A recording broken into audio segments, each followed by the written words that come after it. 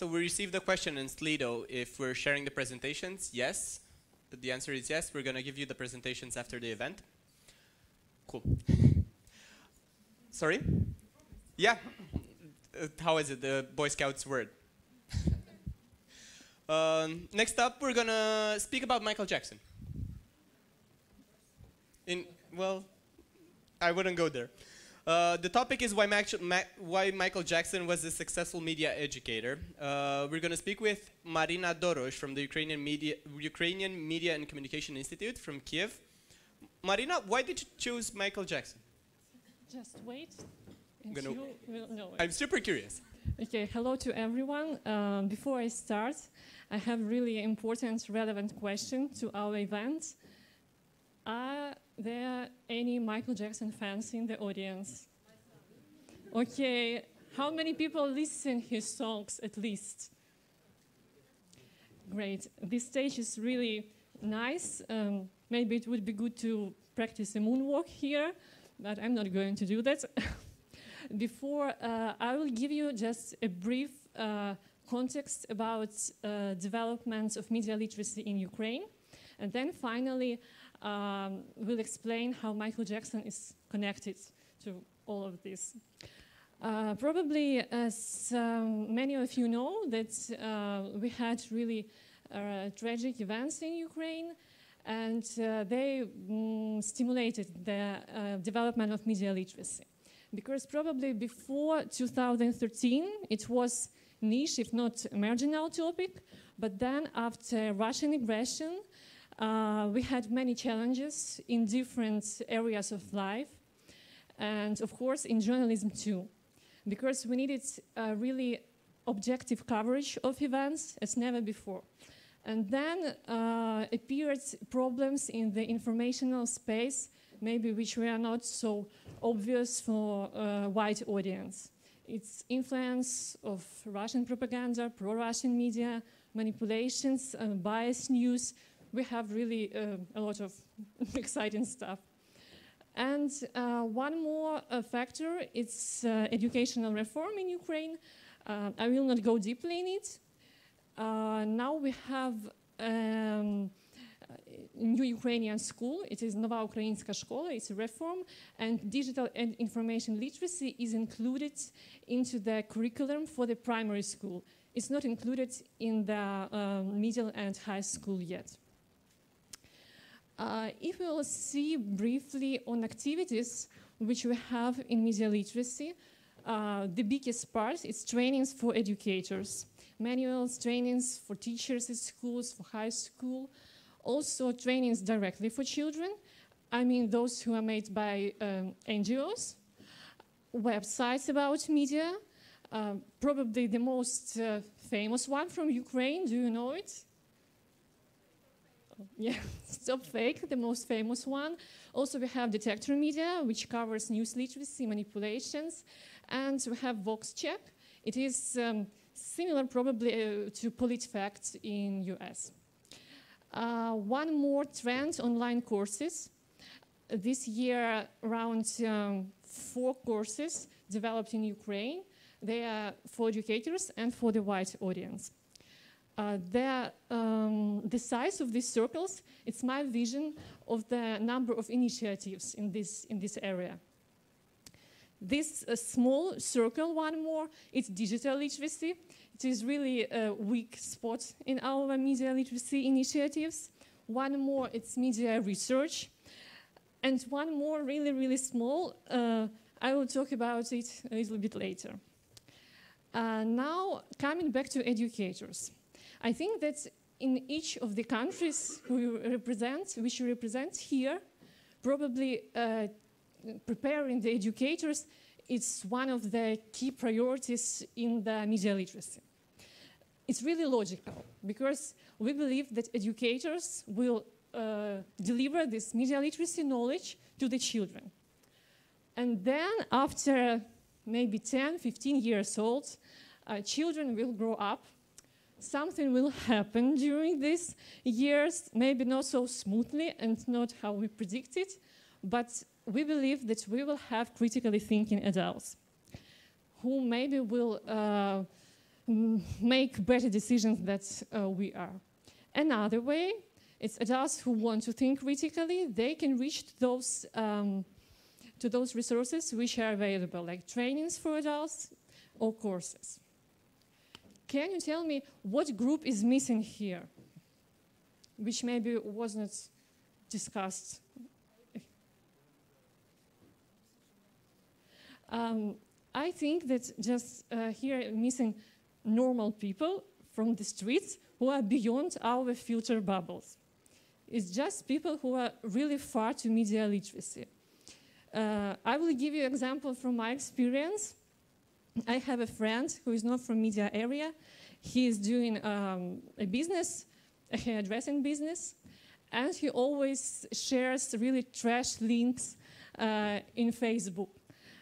And when I was trying to persuade him not to do that, I told him that uh, I'm in media literacy for around six or seven years. And I started my really complicated explanations, but there were no results at all.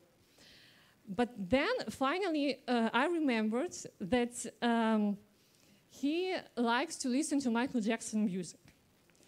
And I, I like it too. And you know, according um, as to Michael Jackson, um, he raises really um, many polemic issues in his songs. And if we will talk about media, he had really complicated, I would name it complicated relations with media. Because journalists during the, his life uh, spread really um, a lot of fake news. It, it wasn't called fake news actually in that time, but it was rumors. And he tried to express his attitude to it in his songs. One of his songs is called Tabloid Junkie. It uh, was released in 1995 on the album History. Now we will listen, I hope we will listen, a piece of uh, this song. Uh, there will be words because it's not so easy to, to hear it. Let's try.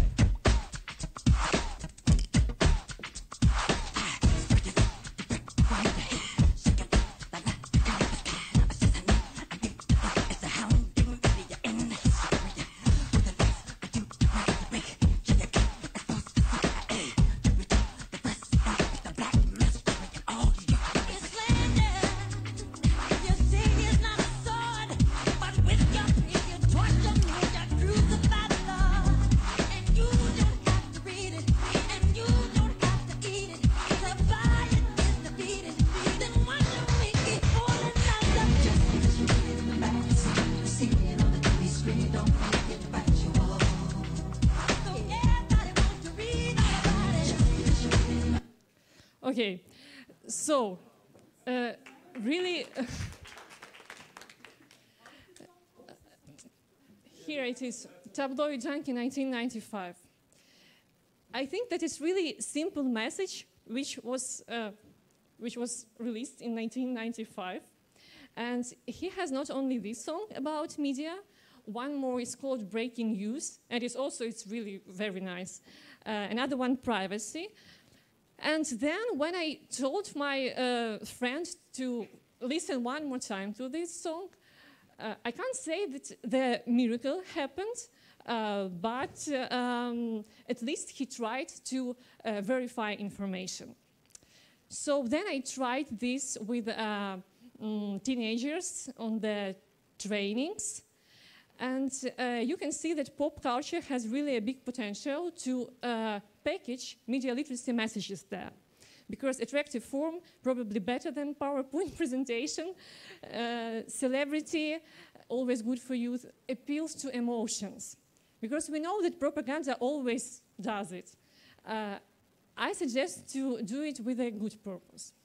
So the formats could be different if we are talking about entertainment. It could be uh, soap operas, TV shows, um, uh, theaters, video games, uh, different things. Um, according to Ukraine, I can't say that we are so well developed in this.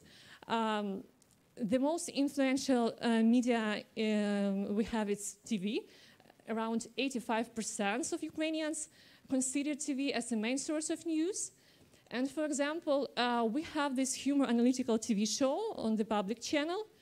Uh, this is um, journalist, presenter. Uh, his name is Michael Shchur. One more Michael in my presentation is his nickname. And in this show, he just discusses an agenda of the day. Um, he discusses politicians. This is one of our famous politicians.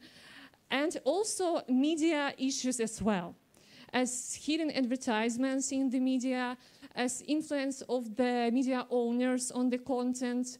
Лідер партії Опозиційний блок Юрій Бойко. Його підтримують газовий олігарх Дмитро Фірташ та колишній In this fragment, uh, he just shows the connections between oligarchs and politicians. We have really very exciting media field in Ukraine. It's, and um, so, as I see, I have a little time, so I will not go in details, but I just uh, say that we have a couple of more examples, like games, which helps to understand the po- uh, populism in politics. Um, also, um, my organization where I've worked, Detector Media, organized a um, competition on media literacy uh, cartoons. We, uh, we proposed illustrators to draw uh, cartoons on the topic media literacy and then made an exhibitions on it in different public spaces.